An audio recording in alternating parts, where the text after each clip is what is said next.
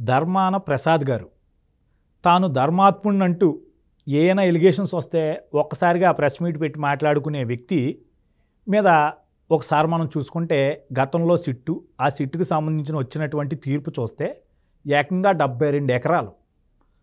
తిన అధికారాన్ని అడ్డు పెట్టుకునే ఇతనుకున్న శాఖను అడ్డు పెట్టుకునే ఆ రోజు స్పష్టంగా దోచేశాడని ఆధారాలు కూడా ఉన్నాయి. అయినప్పటికీ ఈయన్ని మళ్ళీ అదే రెవెన్యూ పోర్ట్ఫోలియోకి జగన్మోహన్ రెడ్డి గారు తీసుకోవడం ఇంకా అవినీతి చేసుకో అన్నట్టుగా ఎంకరేజ్ చేయడం. పోనీ వీళ్ళకి సిగ్గుతో అయినా రాజీనామాలు చేసి అనవసరం ఈ రాజకీయం ప్రజల ముందు పరుగు పోద్ది అనే కోణంలో కాకుండా ఇలా ఓ రకంగా మనం చూసుకుంటే వాళ్ళ కుటుంబ సభ్యుల పేరు మీద వీళ్ళ మీద డెబ్బై రెండు ఎకరాలు రిజిస్ట్రేషన్ చేసేసి మళ్ళీ నాకు సంబంధం లేదంటూ వీళ్ళు మాట్లాడుతున్న తీరుని అసలు ఏ రకంగా చూడొచ్చు? ఓ పక్క నేను ఉత్తరాంధ్రకి తెలుగుదేశం ఏదో అన్యాయం చేసేసింది చంద్రబాబు ఏదో అన్యాయం చేసేసాడని మాట్లాడుతున్న వ్యక్తి ఇతను చేసిన అవినీతి ఆ ప్రాంతానికి వీళ్ళు చేయని అభివృద్ధి. వీళ్ళు చేయని అభివృద్ధి ఏంటంటే ఏళ్ళ తరబడి వెళ్ళే కదా అక్కడ ఉంటుంది. సో ఎలా చూస్తున్నారు? ఇప్పుడు సహజంగా మంత్రివర్గ కూర్పు ఎట్లా ఉంటుందంటే మహిళలకి మహిళా శిశు సంక్షేమ శాఖ దళితులకి సాంఘిక సంక్షేమ సంక్షేమ శాఖ బీసీలకి బీసీ వెల్ఫేరు డాక్టర్లకి వైద్యారోగ్య శాఖ ఇట్లా మొదటి నుంచి కూడా ఎన్టీ రామారావు గారి హయాం నుంచి చూస్తూ ఉన్నాం మనం.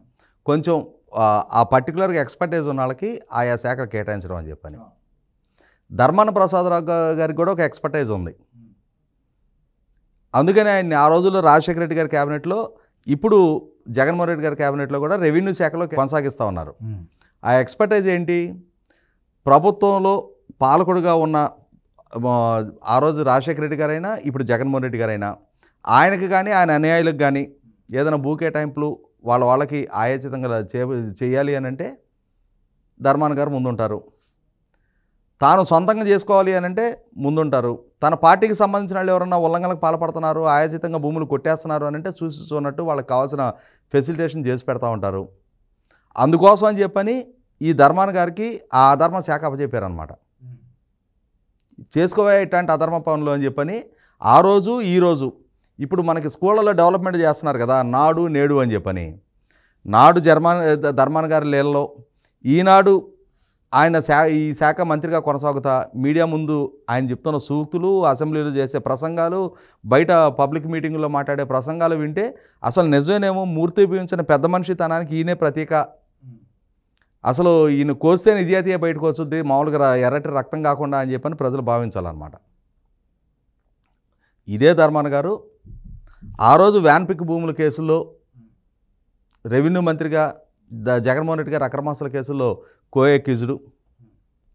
అంటే మంత్రిగా తన యొక్క పరిధిలోకి వచ్చిన ఫైల్స్ అవి ఉల్లంఘనలు జరుగుతున్నాయని తెలిసి కూడా వాటి వల్ల పాలకుడుగా ఉన్న రాజశేఖర రెడ్డి గారి కొడుక్కి ఆర్థికంగా మేలు జరగబోతుందని చెప్పని తెలిసి కూడా కళ్ళు మూసుకొని సంతకాలు పెట్టిన గనుడిన అదే సందర్భంలో విశాఖపట్నంలో స్వాతంత్ర సమరయోధులకు సంబంధించిన భూముల్ని వాటిని అమ్ముకోవడానికి వెసులుబాటు కల్పించే ఎన్ఓసీల్ని ఈయనే స్వయంగా ఎండార్స్ చేసి మంత్రిగా ఈయన ఆదేశాలను మన్నించే ఆ రోజు విశాఖపట్నం జిల్లా కలెక్టరు వీళ్ళకి వెసులుబాటు కల్పించారు అని చెప్పని. ఆ స్వాతంత్ర సమరయోధులకి ఎన్ఓసీ వచ్చిన తర్వాత వాటిని తనకు సంబంధించిన వాళ్ళ పేరు మీద రిజిస్ట్రేషన్ చేసి వాళ్ళ దగ్గర నుంచి మళ్ళీ తన కుటుంబ సభ్యుల పేరు మీదే బాధ్యత. అంటే కనీసం బిడియము భయం కూడా లేకుండా తన కుటుంబ సభ్యుల పేరు మీదే డెబ్బై ఒక్క ఎకరాల చిల్లర ఆయన కుటుంబం పేరు మీదే పెట్టుకున్నాడు అని చెప్పని గత చంద్రబాబు నాయుడు గారి ప్రభుత్వంలో ప్రతిపక్షం అదే పనిగా విశాఖపట్నంలో భూదోపిడీలు జరుగుతున్నాయి అని చెప్పని తెలుగుదేశం పార్టీకి సంబంధించిన నాయకులు విశాఖపట్నంలో భూములన్నీ దోచేస్తున్నారు అని చెప్పని ఆరోపణలు వచ్చిన దృష్ట్యా ఆనాడు చంద్రబాబు నాయుడు గారు ఒక అత్యున్నత స్థాయి పోలీస్ అధికారులతోటి రెవెన్యూ అధికారులతోటి అక్కడ జాయింట్ కలెక్టర్గా ఉన్న సృజనా గారు అనే ఆమె బ్రిజ్లాల్ అని చెప్పని అడిషనల్ డీజీగా ఉన్న ఆయన అదే సందర్భంలో డిప్యూటీ కలెక్టర్లు వివిధ ఆ, ఈ కమిటీ కూడా చాలా సబ్ కమిటీలు ఏర్పాటు చేసుకొని కొన్ని వేల డాక్యుమెంట్లు వెరిఫై చేసి ఎంతోమంది నుంచి ఫిర్యాదులు తీసుకొని వాటిని కూలంకషంగా పరిశోధించి సాక్ష్యాధారాలతోటి తయారు చేసిన స్పెషల్ ఇన్వెస్టిగేషన్ టీం రిపోర్టు ఒక రకంగా ఏంటంటే భూ లావాదేవీల మీద ఆరోపణల మీద అతి సమగ్రంగా సాక్ష్యాధారాలతోటి విచారణ జరిగిన కమిటీ రిపోర్ట్ అది. ఆ రిపోర్టు పుట్టుపూర్వోత్తరాలతో సహా ఈయన డెబ్బై రెండు ఎకరాల భూ కుంభకోణం గురించి పూర్తి సాక్ష్యాధారాలతోటి డాక్యుమెంట్ ఎవిడెన్స్ తోటి ఈయన సంతకాలు పెట్టి పంపించిన ప్రొసీడింగ్స్తో సహా తేడతలం చేసింది.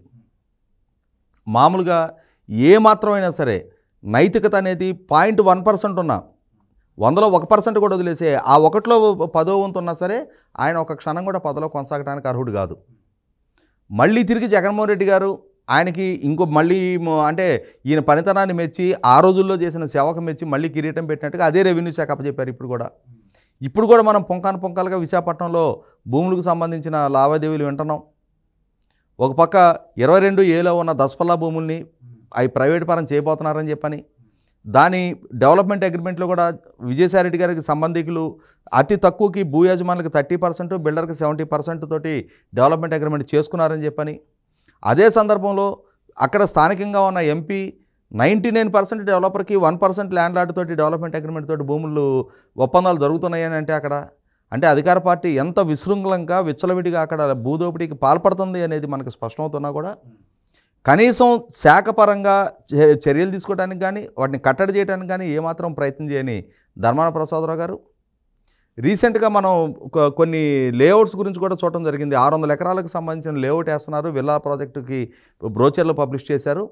దాంట్లో అసైన్మెంట్ ల్యాండ్లు ప్రభుత్వ పోరంబోకు భూములు కూడా ఆక్రమించేసి రోడ్ ఫార్మేషన్ చేశారు అని చెప్పని సాక్ష్యాధారాలతో పుంకాను పుంకాలుగా పేపర్లో వార్తలు అవడం జరిగింది. వాటి మీద కనీసం మాత్రం తన అధికారులను పిలిచి ఏమైనా జరుగుతుందా ఇక్కడ అని చెప్పని సమీక్ష కూడా చేయడానికి సాహసించనైనా మీడియాలో మైక్ దొరికిందంటే విశాఖపట్నం ప్రాంతం మొత్తం అభివృద్ధి చేయడానికి జగన్మోహన్ రెడ్డి గారు అక్కడ రాజధాని సంకల్పించారు. చంద్రబాబు నాయుడు ఉత్తరాంధ్ర ద్రోహి. మేము మాత్రమే ఉత్తరాంధ్ర అభివృద్ధికి కట్టుబడి ఉన్నామని చెప్పని చెప్తున్నారు.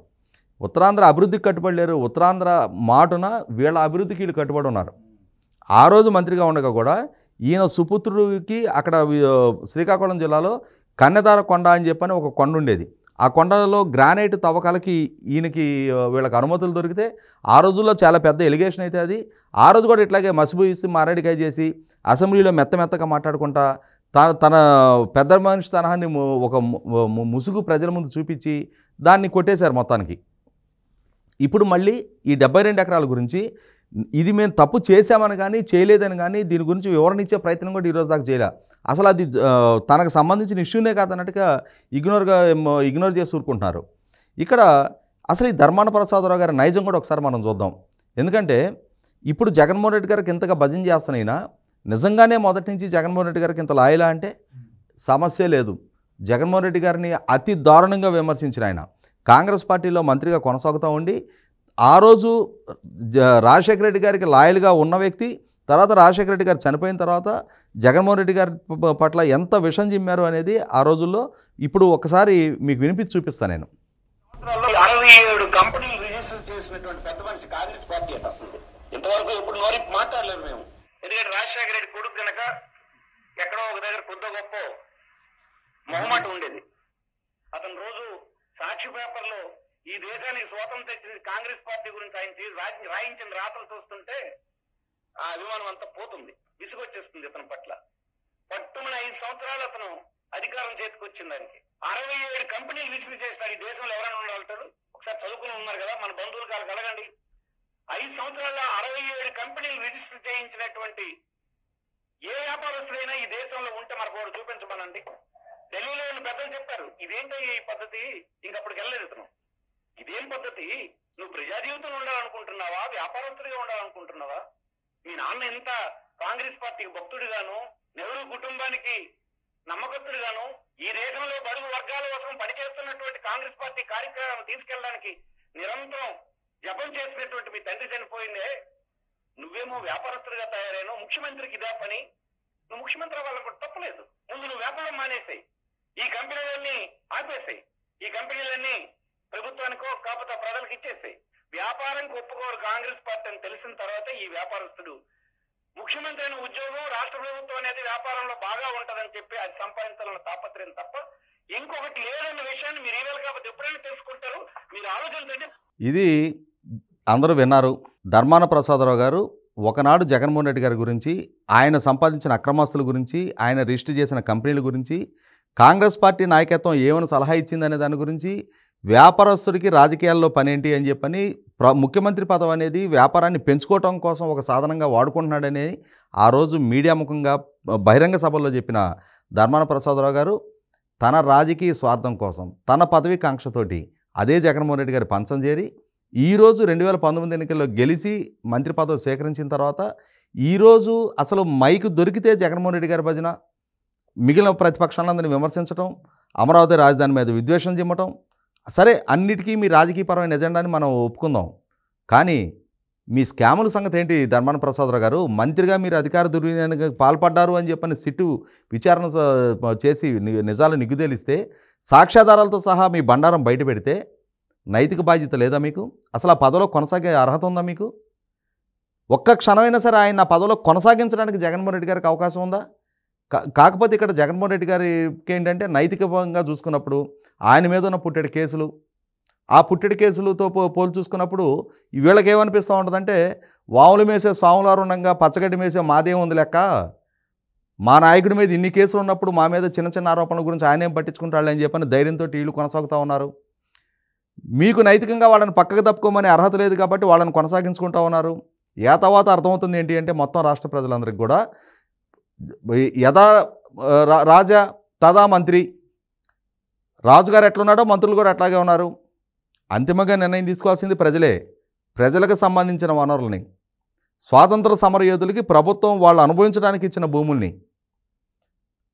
అర్హత లేకున్నా ఉరుకులు పరుగులు పెట్టించి తానే మంత్రిగా ఉండి తానే స్వయంగా ఎండార్ చేసి వాళ్ళకి ఎన్ఓసీలు ఇప్పించుకొని వాటిని మళ్ళీ తిరిగి తన కుటుంబం ఆధీనం చేసుకొని వాళ్ళ డాక్యుమెంట్ ఎవిడెన్స్తో సహా దొరికిపోయిన తర్వాత డెబ్బై రెండు ఎకరాలు ఇవాళ విశాఖపట్నంలో కొన్ని వందల కోట్ల ఖరీదు చేసే భూములవి.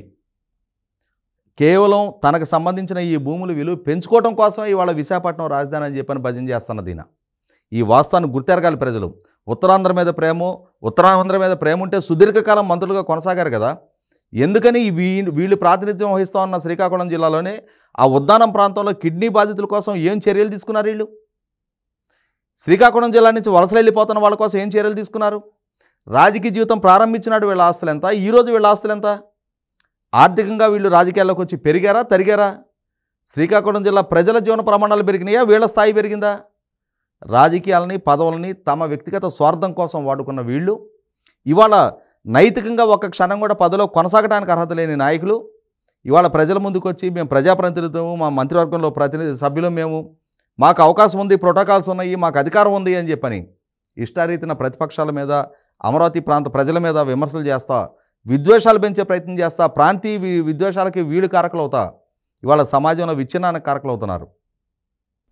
కొద్దిగైనా సరే నైతికత అనేది ఉంటే ఇవాళ సిట్టు విచారణలో వెల్లడైన వాస్తవాలు చూసిన తర్వాత ప్రజాబాహుళ్యంలోకి వాస్తవాలన్నీ వచ్చిన తర్వాత ఒక్క క్షణం కూడా ఆ పదవిలో ఉండటానికి వీళ్ళే ధర్మాన ప్రసాదరావు గారు.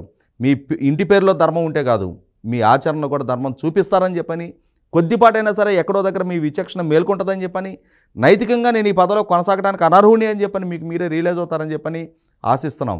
ఇక్కడ మనకి ఈరోజు వార్తాపత్రికల్లో ప్రధానంగా వచ్చిన ఇంకొక వార్త గురించి మనం రెఫరెన్స్ చెప్పుకుందాం. ఆంధ్ర క్రికెట్ అసోసియేషన్కి రీసెంట్గా అరబిందో ఫార్మాకు సంబంధించి ఇప్పుడు ఢిల్లీ మద్యం కేసులో అరెస్ట్ అయ్యి ఉన్న శరచంద్రారెడ్డిని అధ్యక్షుడుగాను అతని తమ్ముడిని కార్యదర్శిగాను నియామకం చేపట్టారు. అయితే చిత్తూరు జిల్లా క్రికెట్ అసోసియేషన్కి బాలబాలికల క్రికెట్ అసోసియేషన్కి సంబంధించి ఒక అతను ఆ నియామకం మీద ఒక హైకోర్టులో కేసు వేశాడు ఏమని అతను ఆరోపించింది? క్రికెట్ నియంత్రణ మండలి బైలాస్ ప్రకారం క్రిమినల్ కేసుల్లో ము- ముద్దాయిలుగా ఉన్నవాళ్ళు ఆ చరిత్ర ఉన్నవాళ్ళు పాలక మండలిలోకి రావడానికి వీల్లేదు అని చెప్పని. దాంతో నిన్న గౌరవ హైకోర్టు ఆ నియామకం మీద స్టే ఇచ్చింది. అంటే ఇక్కడ ఏమర్థమవుతుంది మనకి? ఒక అంటే మొత్తం దేశంలో క్రికెట్ అనేది చాలా చిన్న వ్యవస్థ అది.